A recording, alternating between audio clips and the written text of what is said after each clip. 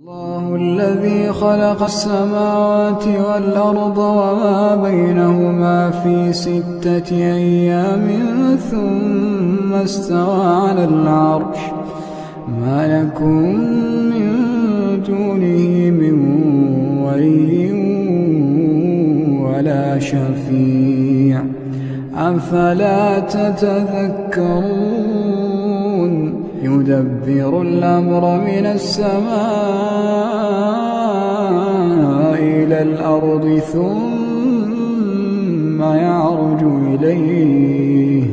في يوم كان مقداره ألف سنة مما تعدون. ذلك عالم الغيب والشهادة العزيز الرحيم.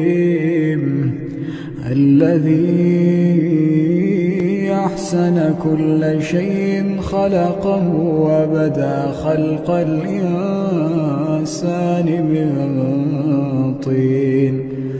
ثم جعل نسله من سلالة من ماء مهين.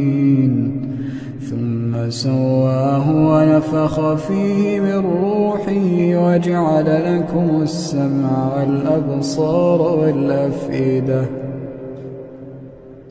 قليلا ما تشكرون.